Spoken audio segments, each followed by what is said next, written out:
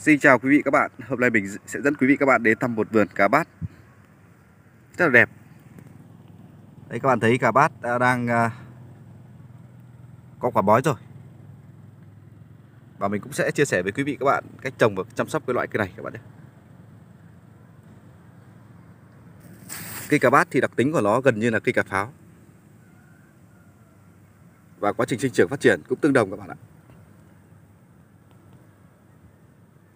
Nhưng trồng sẽ thưa hơn. Bởi vì cây cà pháo, cây nhỏ nhưng cây cà bát này sẽ trồng cách hơn các bạn ạ. Cây cách cây khoảng tầm à, 40 cm và hàng cách, hàng cũng sẽ xa hơn. Đây các bạn thấy hàng cách hàng khoảng tầm à, 50 cm nhưng đây là chú chủ vườn, chú ý để một đống to. Còn nếu chúng ta đánh nuống khoảng à, 80 cm thì cứ trồng một hàng và cũng để các cái rỗng thoát nước. Để bơm xả nước vào mùa khô hoặc là những ngày nắng hạn. Và tháo nước, xả nước vào những ngày mưa to.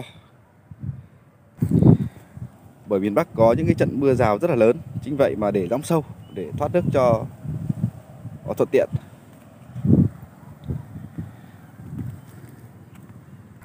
Và cây cà này thì trồng khoảng, được khoảng hơn 2 tháng trồng vào tầm cuối tháng 12 âm lịch. Đấy, các bạn thấy giờ này đã có quả bói rồi. Quả rất là to. Cả bát này thì tầm à, 4 đến 5 ngày sẽ được à, thu hoạch một nứa khi mà rộ.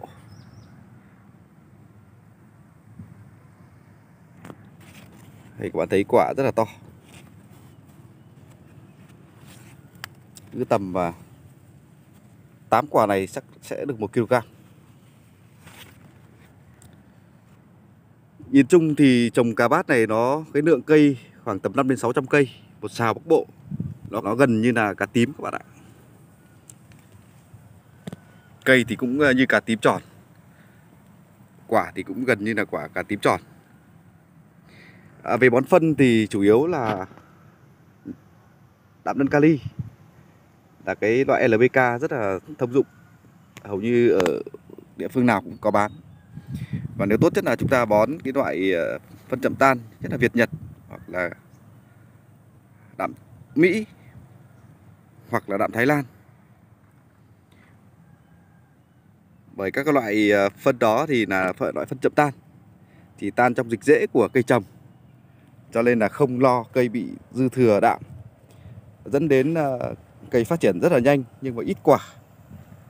Người trồng cà quê mình hoặc là các cái loại cây trồng khác hay gọi là lốp cây đấy với thời kỳ thô rộ, với lượng quả sai, nhiều quả thì chúng ta cứ khoảng à, 10 đến 15 ngày thì sẽ bón cho một đợt, tầm 10 đến 12 kg cái loại à, đầu trâu. Còn nếu mà LPK thông thường thì khoảng 20 kg chúng ta cách gốc 5 đến 10 cm bởi cây sinh trưởng to thì rễ của nó cũng ăn rất rộng rồi. Ngoài ra chúng ta có thể bổ sung thêm cho hoặc là các loại phân có nguồn gốc hữu cơ, ủ mục thì bón cũng rất là tốt đối với ờ, cây cà bát này. Cây cà bát này thì các cái bệnh của nó cũng tương đương với cây cà pháo. Đây các bạn thấy nó cũng bị dày dẹp chích hút đây. Gây quăn lá, xoăn lá. Ngoài cái ờ, dày dẹp chích hút ra thì nó còn có các cái loại bọ vàng ảnh hưởng rất lớn đến ờ, quá trình sinh trưởng phát triển của cây này. Nếu trong thời kỳ cây chưa có quả thì chúng ta có thể dùng các loại thuốc hóa học như Strixzone thì diệt được hầu như tất cả các loại ờ, sâu đen, sâu xanh, cắn lá, cắn ngọn hoặc là sâu đục quả. Ở các loại bọ bay chúng ta có thể dùng cái loại tốc biến rất là tốt để diệt trừ dày dẹp. Còn à, bệnh chết xanh thì chúng ta nên à, hạn chế bón đạm bởi trên ruộng đã có điểm báo chết xanh thì chúng ta hạn chế bón đạm bởi vì chứng tỏ là chúng ta bón quá nhiều đạm và bị uh, sâu dày dẹp. Nhất là các loại dày nó chích hút nó truyền virus cho cây cà là cũng rất dễ bị bệnh héo xanh chết cành. Với video này thì mình chia sẻ qua cái cách trồng và chăm sóc cây cà bát. Sau này ruộng này sai thì mình sẽ quay trở lại vườn hỏi xem ờ, cô chú chủ vườn chăm sóc kiểu gì để cho năng suất tối đa các bạn nhé. À, Xin chào tạm biệt và hẹn quý vị các bạn ở các à, video lần sau. Nếu quê quý vị các bạn có canh tác cây cá bát này có kinh nghiệm hay thì các bạn nhớ bình luận và chia sẻ phía dưới video các bạn nhé.